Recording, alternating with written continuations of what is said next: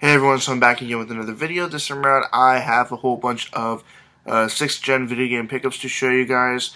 Um, all these are PS2 and original Xbox games, as well as a couple of Game Boy Advance games. Um, and some of these as well are going to be just uh, empty cases, and that kind of sucks, but whatever I can get is still good. Uh, so I'm going to start out with this one set of games here. Pretty much I went to the Salvation Army that I usually go to after a period of about three to four weeks of not having gone there, only to find that there were a bunch of games that I would have really liked to get, but the discs were stolen. And that really sucks. At that Salvation Army, I pretty much have to be there right when games come out, or else they risk being stolen, and that again really sucks. Uh, now, basically, this day I went and I was looking for games. Uh, the first game I found was there, and it's a game I already have, so I grabbed it, um, thinking I'd probably trade it for something else. Uh, and the rest of these, I went ahead and asked if I could have the cases or if I could purchase them. Um, and the manager said that she could give them to me for 25 cents a piece, so I went ahead and grabbed them. So the one and only game that I got that day is the Dukes of Hazzard: Return of the General Lee. I've had like three or four copies of this game now. Um, I keep uh, trading off or selling copies of this game uh, and uh, buying something else in return. Uh, this one here was in pretty good condition if I remember. Yeah, like absolutely zero scratches on it. Uh, comes with a manual, um, and I paid four dollars for that. Um, and then I also grabbed all these cases. Um, I believe all of them came with manuals as well. But all these for 25 cents a piece. Um, one is a PS2 game. It's Enter the Matrix. Um, I think that one, yeah, this one didn't have the manual. But I got that and the rest are Virtual Pool Tournament Edition, uh, 007 Nightfire, and these ones uh, made me a little sad to see missing. Uh, X-Men Legends and X-Men Legends 2, and the last one is Star Wars Battlefront 2. Um, now this one had the manual in it at least, but I could have traded this for something else that that I don't have that I would have really uh, liked to get because this one here, at least here in Toronto, trades for a lot. But oh well, what can you do? Um, next up, uh, I got these games at a couple different stores. Um, I found Dead or Alive Extreme Beach Volleyball for the uh, original Xbox at a local thrift store that's just around the corner from where I live. Uh, and it's missing the manual, but it was only $3, so it wasn't that bad. Um, and at the Value Village, I found uh, a complete copy of uh, Grand Theft Auto, sorry, Grand Theft Auto San Andreas for the original Xbox. Uh, sorry, that was uh, $4.99. And I don't remember if I have it on the original Xbox. Um, if I do already have it, then I'm going to go ahead and trade that. If I don't, then uh, get another one for the collection. Uh, now, on another day at the Salvation Army that I usually go to, I found these games in uh, mixed with the DVDs. And usually, if they put video games with the DVDs, they get stolen. Uh, almost immediately, they get stolen. Um, they have a spot right next to the register where they usually keep um, video games and uh, TV shows on like DVD and like Blu-ray discs, stuff like that. Uh, that in their minds is worth a little bit more. Uh, they keep them by the register, but every so often video games get mixed in with the DVDs, and then once they do, they get stolen. Um, but I was lucky enough to find these two. Uh, first up is Harvest Moon, A Wonderful Life Special Edition, but this one here was missing the manual, and I honestly do not remember uh, if I have this already. I know I definitely have it on the GameCube, or Harvest Moon, A Wonderful Life, not Special Edition. Not entirely certain, but um, come to think of it, I might have this. I just I don't remember at this point. And the other game I was more uh, excited to find and happy that it was in uh, much better condition. I got this for four ninety nine. Also, is uh, Romance of the Three Kingdoms uh, eleven.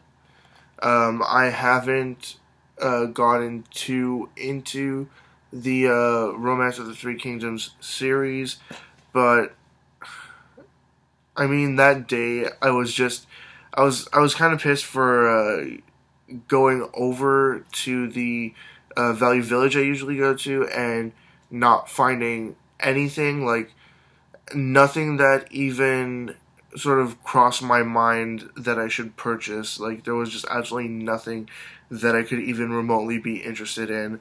And then I go to the Salvation Army, and after flipping through a couple of things, seeing things were stolen, eventually finding this, I was like, thank God I found something decent. Uh, but yeah, I definitely was going to grab that when I saw it. Uh, now, before I get to the Game Boy Advance games, there are these two games here. Uh, basically, the story behind these is uh, I went to a friend's housewarming party, and I'm assuming what happened exactly is um, he and his girlfriend either had stuff that uh, like they had doubles of certain things, uh, or he was just trying to get rid of a couple of games. Uh, he, he, was basically getting rid of a bunch of uh, video games and DVDs, and there were a couple movies I wanted to uh, possibly grab from from the uh, boxes of stuff, but there were other people there that were more interested in those movies, so I just I didn't say anything. I let them go for it. Uh, but I went ahead and grabbed these two games, definitely going right into my collection. Uh, both PS2 games. Uh, the first one here is Ico, uh, and it was complete and in very good condition. And the other one is RPG Maker 2. Um, now, apparently my friend told me that uh, there is like a pre-made game in this already. Like uh, once you put in the disc, there's already like an option there, uh, but you basically can make whatever you want as well. Um, I know that the first one is on the uh, PS1, and then the next two, so two and three, are on the PS2. But I just I know very little about this series. I know there's also other um, games in this series. Like uh, I think there's like a fighting game maker. I don't know what it's called exactly, maybe Fighter Maker or Fighting Game Maker, but whatever it is, it's a game where you make a fighting game. Uh, but yeah, to get both of those for the collection is uh, great for me, especially uh, since they're coming from a friend. Uh, they're both definitely staying in my collection.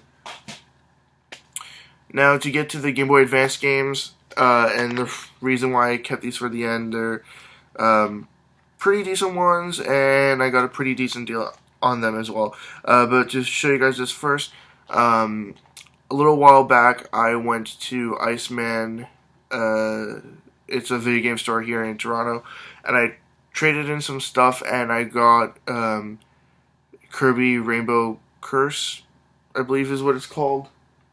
Um, Kirby and the Rainbow Curse. Yeah, uh, I got that game, and uh, I had an, a remaining ten dollars of credit, and I didn't know what to get really. So I was looking around. I saw this uh, this uh, Game Boy Advance game. It's Dragon Ball Z uh, Taiketsu. I haven't tried it out yet, so I don't know what kind of game it is. I don't know if it's going to be a fighting game or if it's going to be a game like Legacy of Goku. Uh, if any of you out there know, please let me know. I could just test it now, but I don't think I'll be getting around to playing it anytime soon. Um, and these last three games here in these uh, Mad Catz uh, colored cases that sort of link together, um, I got them at my local thrift store that's uh, just down the street from me.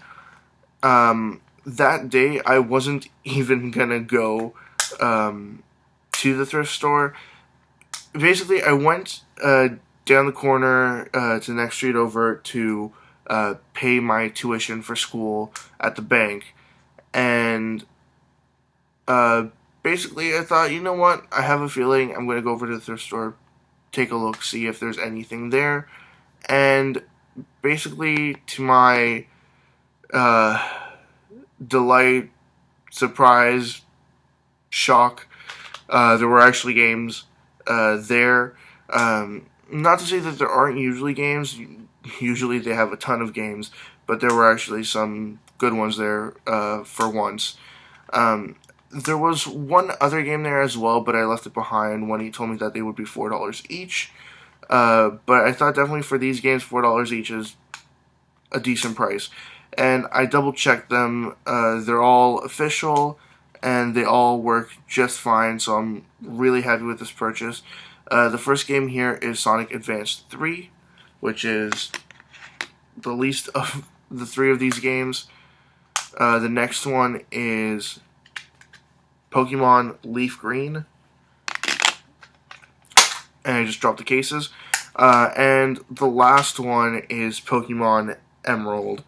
Uh, now, both of these Pokemon games I have, I've played, I've completed. I've restarted that one. Um, I restarted that one as well much later on. Um, so basically, I've played both of these to hell, and I already have my original copies of them.